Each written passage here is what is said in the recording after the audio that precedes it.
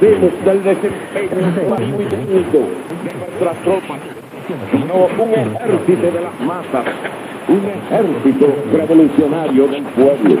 Los más de 400 mil hombres y mujeres que pasaron por Angola en el curso de estos años y cuyos nombres serán enaltecidos por nuestros sucesores, proceden de todas las generaciones activas hoy en el contexto cubano, desde los veteranos rebeldes hasta los más jóvenes reclutas y reservistas.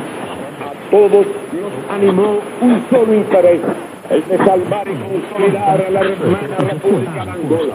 Como advertimos en fecha muy temprana, nada más hemos traído de regreso como no sea la satisfacción del deber cumplido y los restos de nuestros compañeros caídos. Acabamos de escuchar fragmentos del discurso pronunciado por el comandante de la producción, Juan Castro Ruz, en el acto oficial que concluyó el regreso a Cuba de las tropas internacionalistas en Angola, efectuado el 27 de mayo de 1941 en el Caraguay.